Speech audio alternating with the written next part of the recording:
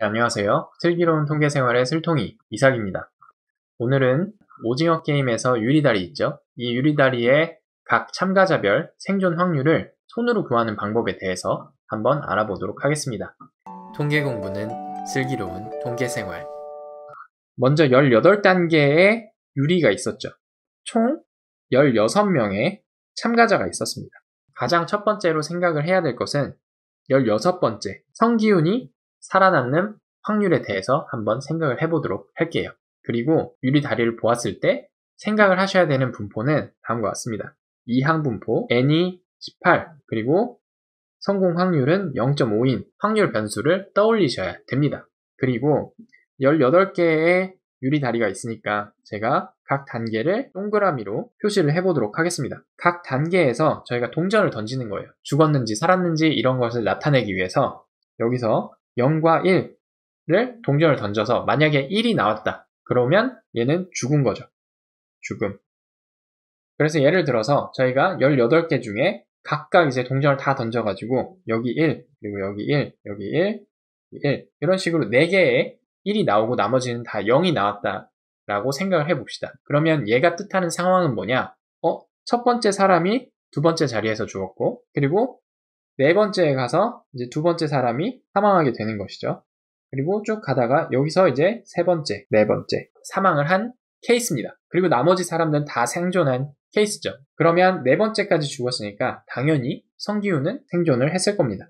이러한 케이스를 봤을 때 성기훈의 입장에서는 18번째 이렇게 동전을 던지는 그 시행 중에서 총 사망 수가 15개 이하인 경우 성기훈은 생존을 하게 됩니다. 그러면 이거를 어떻게 우리가 계산을 하냐? 바로 probability x가 15보다 작을 확률은 성기훈의 생존 확률이 됩니다. 16번째 참가자의 생존 확률이 된다. 그러면 이것을 응용을 하면 다른 모든 참가자들의 생존 확률도 계산을 할 수가 있습니다. 예를 들어서 10번째 참가자의 생존 확률은 x가 9보다 작은 확률을 구하면 되는 것이죠. 즉 얘는 뭐냐?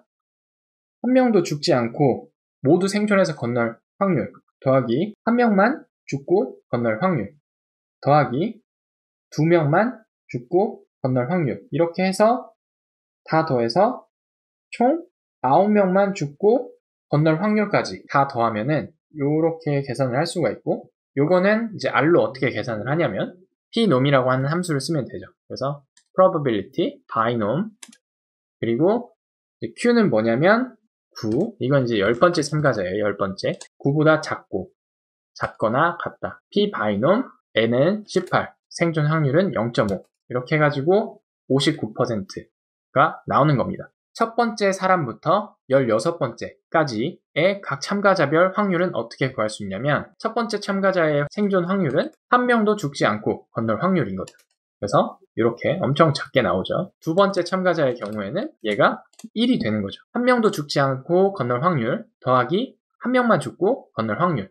이걸 이제 한꺼번에 첫 번째에서부터 16번째 참가자까지 생존 확률을 한꺼번에 구하려면은 0에서부터 15까지 이렇게 되는 것이죠. 좀 더 더 잘 보기 위해서 라운드 이렇게 하면은 조금 더 잘 보이겠죠. 그래서 첫 번째 사람, 두 번째 사람 거의 뭐 다 죽고 그 다음에 세 번, 네 번, 다섯, 여섯, 일곱, 여덟, 아홉, 열 번째 사람부터 59.3%의 확률로 살아남을 수 있다라는 것까지 볼 수가 있습니다. 이게 이해를 하고 답안을 보면은 사실 되게 쉬운 어, 계산이지만은 그 문제 푸는 훈련이 되지 않았, 않은 상태에서 사실 이걸 생각을 해내기는 되게 어렵다고 생각을 합니다. 그래서 요걸 한번 보시고 아 요렇게 생각을 할 수도 있구나 라고 하는 것을 한번 짚고 어, 넘어갔으면 좋겠네요. 네, 그러면 다음에 또 더 재미있는 영상으로 찾아뵙도록 하겠습니다.